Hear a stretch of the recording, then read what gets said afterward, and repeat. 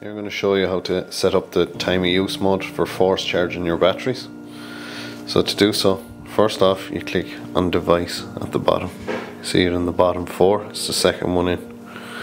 Then you select connect devices at the bottom. Here you'll see the battery. You select the battery. On the top right hand corner you see four dots. You select the four dots and you click on parameter settings. In this you have all the different modes and what you want. So here you can set at the top you see basic settings, working mode, capacity control. You click on working mode, then you have operational mode. So here we're set at TOU.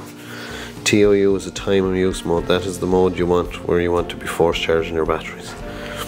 If you want to just use self-consumption, you click maximum self-consumption or time of use mode, TOU.